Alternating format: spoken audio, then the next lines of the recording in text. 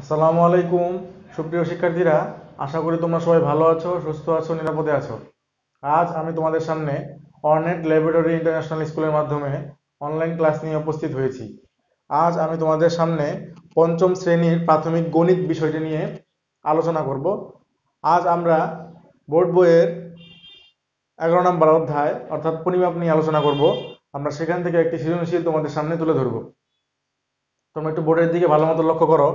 সৃজনশীলটি হচ্ছে, একটি তেলের পাত্রের দৈর্ঘ্য পঞ্চাশ সেন্টিমিটার, প্রস্থ চল্লিশ সেন্টিমিটার এবং উচ্চতা হচ্ছে সত্তর সেন্টিমিটার। এখানে বলা আছে পাত্রটির আয়তন কত? ক নাম্বার প্রশ্ন। এখন আমাদের পাত্রটির আয়তন বের করতে হলে আমাদের এই সবগুলো আমাদের যোগ করতে হবে, গুণ করতে হবে। এখন উপরের উদ্দীপকের যা আছে, পঞ্চাশ গুণন চল্লিশ গুণন সত্তর, আমরা এগুলো সব গুণ করে দেব। গুণ করে দিলে আমরা পাবো এক লাখ চল্লিশ হাজার ঘন সেন্টিমিটার। অর্থাৎ পাত্রটির আয়তন হচ্ছে এক লাখ চল্লিশ হাজার ঘন সেন্টিমিটার। আমরা খ নাম্বার প্রশ্নটিতে আসি। খ নাম্বার প্রশ্নটি হচ্ছে, পাত্রটিতে কত লিটার তেল রাখা যাবে? আমি আবার পড়ছি, পাত্রটিতে কত লিটার তেল রাখা যাবে? এর জন্য আমাদের একটা সূত্র জানতে হবে। আমরা জানি এক হাজার ঘন সেন্টিমিটার সমান সমান এক লিটার।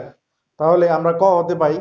চোদ্দ, এক লাখ চল্লিশ হাজার ঘন সেন্টিমিটার সমান সমান এক লাখ চল্লিশ হাজার ঘন সেন্টিমিটারকে আমরা এই এক হাজার দ্বারা ভাগ করব। এক হাজার দ্বারা ভাগ করলে উত্তর আসবে একশো চল্লিশ লিটার।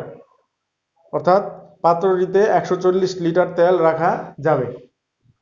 সুপ্রিয় শিক্ষার্থীরা, আশা করি তোমরা বুঝতে পেরেছ, তোমাদের বাড়ির কাজ থাকবে লেকচার গাইডের একশো একষট্টি পৃষ্ঠার এক থেকে ছয় নং।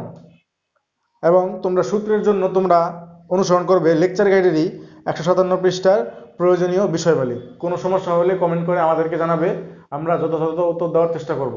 আসসালামু আলাইকুম।